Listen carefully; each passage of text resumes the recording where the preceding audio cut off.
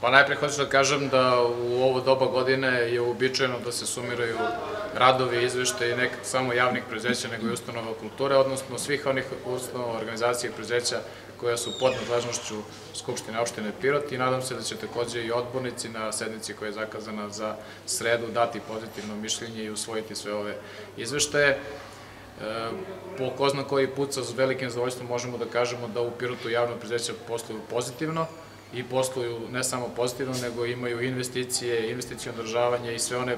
programe i planove koje usvojamo na kraju godine za narednu godinu, sve oni to izvršavaju. Uh, videli ste, možda vam je nekima čudno, ali uh, Toplana jeste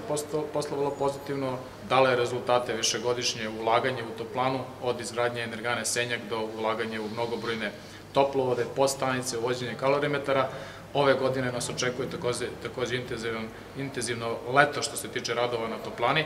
i na taj način ćemo konačno posle već nekoliko godina ulaganja zaokružiti sistem. Ove godine, dakle, kada kažem ove,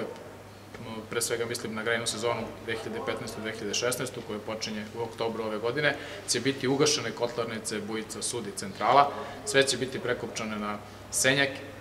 Biće ugrađeno negde oko 22 novih podstanica i još nekoliko stotina metara novog toplovoda i mislim da će ponovo toplana biti spremna kompletno za e, efikasan rad u toku sledeće godine. Čuli ste da i vodovod ima e, dobro izvršenje kako planova u 2014. godini, tako i planova u toku 2015. Takođe, i e, komunalac, direkcija za izgradnju je takođe dobro radila, ima velike planove za 2015. godinu i bilo je nekih možda promena planova, na primjer kada ili odlaganje planova, pre svega mislim na realizaciju projekta vodovoda Ponor ili na odostajanje nekih, od nekih projekata kao što je kružni tok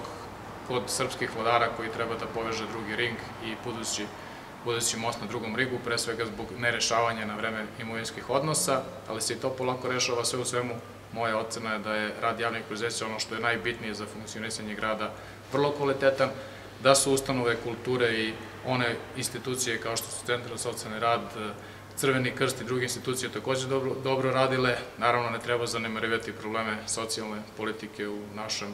gradu, ali se vidi da na sve populacije i sve segmente našeg stanovišta obraćamo pažnju.